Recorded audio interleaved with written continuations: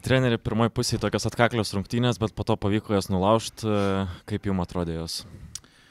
Atrodė įdomiai, norėjosi geriau, aišku, kaip visada iš trenerių pusės. A, kažkiek negaliu nesutikti, kad buvom kažkiek ir nervingi vietom, a, kas, sakykime, kai kurie mūsų sprendimai polime vėliau persidavė a, į gynybą. Kažkur vėl aš negaliu uh, sakyti, kad nebuvo tos agresijos tam tikri ir sunkus metimai iš Utenos pusės, kurie, kurie vėlgi mums, kaip sakyti, vietom tikrai a, davė per galvas. Ir sakau, sumažinus tą, kaip sakyti, klaidų skaičių, apsitvarkius šiek tiek savo galbūt ir emocijas vietom, manau, kad antroji pusė, ypač trečias kelnys, buvo gana solidus iš gynybinės pusės. O gale, aišku, galėjom kažkur rungtynės gal biški ir lengviau užsidaryti, vėlgi kažkokios tai klaidelės neleido mums to padaryti, bet visumoje Labai džiaugiamės pergalę, labai a, svarbi pergalė mum. Manau, visi tą mato ir supranta ir, ir, ir a, tikiuosi, kad žaidėjai gerai atšves Velykas. Ar tą nervingumą lėmė kažkiek galbūt ta turnyrinės lentelės situacija iki šių rungtynių, kad neaišku, tas buvo trečios vietos likimas? Negaliu pasakyti, nu, mum ir rungtynės, kaip matėm, su Lietkabeliu buvo labai svarbios prieš, prieš kelias savaitės, bet visi matė, kaip mes jas pradėjom, tai a, kažkur, kažkur galbūt rungtynių plane ir, ir ne tai, kad klaidelių buvo padaryta, bet, bet tam tikrų neiškumų, sakykime, kuriuos, ties kuriais mes turim dirbti, tai gal, galbūt tas lėmė tą nervingumą.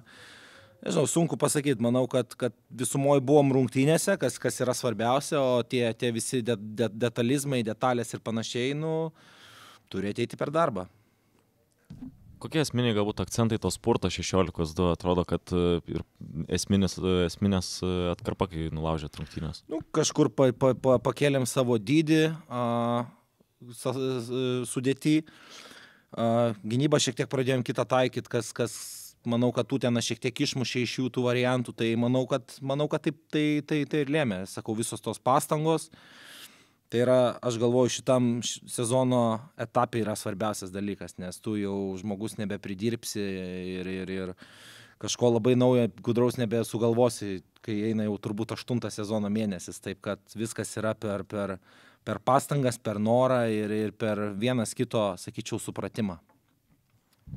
Mekovulų patyrė traumą, kiek, kiek aišku, kas tenais nutiko, kas gali būti.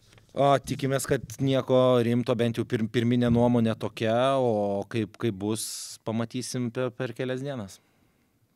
Kristupas Žemaitis šiandien pakartojo karjeros rezultatyvių perdamų rekordą 11, bet jo porininkas Vaidas Karniauskas po, po rinktinės pertraukos atrodo e, šiek tiek išsimušęs iš vėžio. Ar čia nais Žemaičio toks geras žaidimas lemia jo kritusias minutės, ar pačio Karniausko prastesnis? Aš nenoriu labai veltis į individualybės. Uh Manau, kad Vaidui taip, aišku, tikrai nepadėjo ir ta, sakykime, jo, jo problemos lango metu ir, ir, ir tikrai mm, visi žino ir, ir, ir jisai pats puikiai supranta, kad jisai yra žiauriai svarbi komandos dalis. Ir ypatingai, kaip, kaip sakytose, didel, didel, didelėse rungtynėse, uh, ypatingai į sezono galą, aš, aš tikrai žinau, kad Vaidas žais geriau ir bus labai svarbi mūsų komandos dalis. Ir kažkuriuose vietose turim būti kantresni ir mes, turi būti kantresnis ir Vaidas, bet sakau, visi iki vieno šitam klube, nuo žaidėjų iki administracijos žino, kad Vaidas yra žiauriai, žiauriai svarbus žaidėjas šitam klubui. First of all, congratulations, Wolves, that really for 40 minutes they, they were fighting till end, and of course they deserve this win tonight. But like you said, you know, I think that for the most of the minutes we had pretty good control of the game, especially first half. That I believe, if we would smarter to make some decisions, and of course, what was for us one of the big problems in these games, like eight free throws to miss on a away game is a big number. So, like I said, first of all, we had a chance to have even bigger, uh, let's say, leading in the first half. But this this is not the, the, the most important for this game. Then, we we we just you know lost lost our control in the third quarter, which I mean that uh, they use really to to step up and take control of the game. Last last quarter we got back. I think we were close in two possessions to to tie the game and maybe to turn the game out, but unfortunately not enough resources, physical resources, first of all, to, to finish the game that way. Trenerio komentaras, visų pirma, treneris pasveikino Vilkus su pergalė, pasak trenerio Vilkai kovo visas 40 minučių ir nusipelnė pergalės. Pasak trenerio, jie prarado kontrolę trečiajame kilinyje, ketvirtajame, kaip ir grįžo rungtynės, tačiau pritruko fizinių resursų jas išgelbėti. What were the main things that the team lacked in that uh, episode when you lost 2-16, I guess, in the third quarter? What what were those things? Uh, first of all, if I we have our personal stats, of course, uh, we had a problem in one-on-one defense. That was a key key thing today. Uh, 45 points they score out of one-on-one straight straight set situations from one-on-one. So this is this is a one problem. Second problem that our turnovers. Uh, we finished with 14 turnovers, but let me see in the second half. Uh, we made eight turnovers in the second half. And this is big number. Out of these turnovers, they scored 20 points. And these two things, for example, if you just talk about this, directly decisive for who will take control to control of this. Uh, unfortunately, you know, we have problems that still looking to to improve this. You know, lack of lack of physicality in this situation that we have a lot of players coming from injury or still injured. So our rotation is shorter. This is obvious. And then, of course, with a with a physical game like Wolves played and the big rotation that they used to, of course. And you know, of course, we would like to have better decisions in this situation, but I have nothing to complain about to, to my guys. I mean, I mean, they give they give at this moment best they can. Klausimas buvo, kas nulėmė Vilkų spurtą trečiajame kelinyje.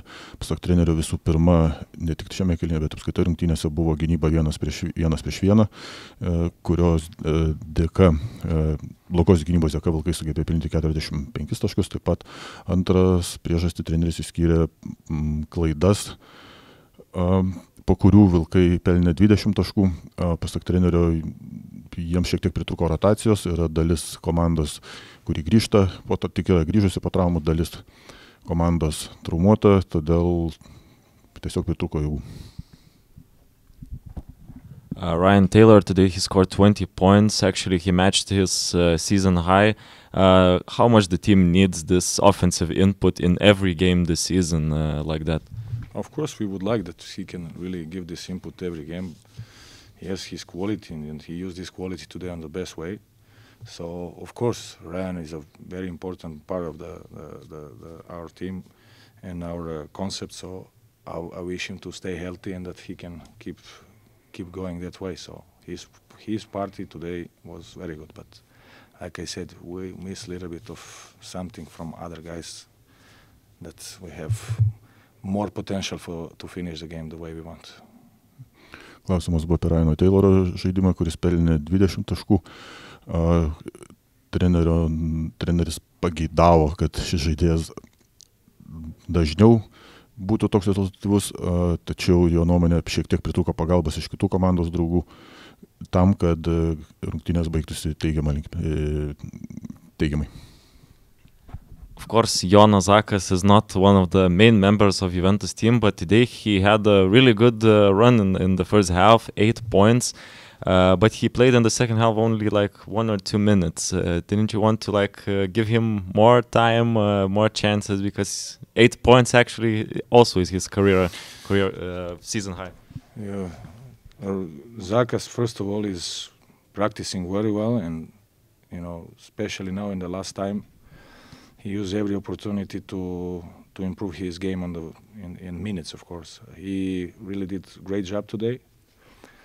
And of course, in the future, I will I will give him more more and more space, which he deserves absolutely today because of our rotation that we had. He didn't have a more minutes, but in general, every minute he was on the floor, he showed really that can help the team. Klausimas buvo apie gerą Jono Zako pasirodymą, ypatingai pirmajame klinė. Pasak trenerio, šis žaidėjas gerai dirba treniruotėse, todėl ateityje gali tikėtis daugiau minučių. Šiandieną jis taip pat jų gavo daugiau dėl trumpesnės rotacijos ir jomis jis puikiai pasinaudojo. Uh, what is the situation with Evaldas Šaulys and his injury, and when can we expect Marius Valinskas to come back? Evaldas seems now that it's not big injury. We will see actually tomorrow how the, the ankle will react, and we hope that we don't have one more injury because he already had in the last three weeks back problem. About Marius, I don't have precise date, but we hope that maybe in the next days he will start practicing. It's something what really bothers for a long time. It's very important, especially on the this perimeter position that we have that we have problems. And I hope he will join us as soon as possible. Klausimas buvo apie Evaldo Šaulio traumą ir kada ir kokio rimtumo jin galėtų būti, taip pat apie tai, kada galėtų į sudėtį grįžti Marius Valinskas. Pasak trenerio Valdo Šaulio trauma netrodo sunki, bus, pamat, bus galima labiau vertinti rytoj. Tuo tarpu Marius Valinskas jau turėtų grįžti į treniruotės artimiausiu metu ir treneris, treneris norėtų, kad tai vyktų kuo greičiau, nes e, jo sudėti šiuo metu labai trūksta.